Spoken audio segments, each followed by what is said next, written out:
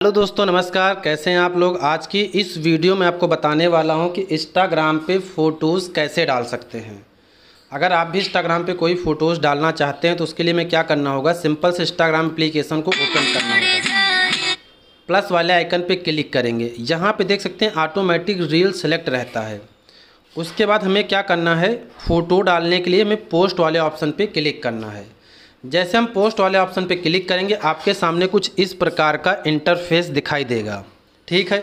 यहाँ पे जितनी भी फ़ोटोज़ आपकी होंगी, या आपने जो फ़ोटो डाउनलोड की है, या जो कैमरे से कैप्चर की हैं, वो सारी की सारी फ़ोटो यहाँ पे आपको दिखाई देने वाली हैं। ठीक है? अब यहाँ पे जो भी फ़ोटो मुझे डालनी है, वो फ़ोटो हम यहाँ पे सेलेक्ट कर लेंगे। मान लीजिए मुझे ये वाली फ़ोटो डालनी है। ठीक है? अब मुझे ये फ़ोटो सेलेक्ट कर लेनी है। ठीक? सेलेक्ट कर लिया। अगर आप इस फ़ोटो को फुल फ़ोटो में डालना चाहते हो, उसके लिए मैंने वीडियो डाल दी है, आप जा कर के देख सकते हैं। अगर ये फ़ोटो मुझे फुल डालनी तो मुझे क्या करना होगा? वो वीडियो मैंने डाल दी है।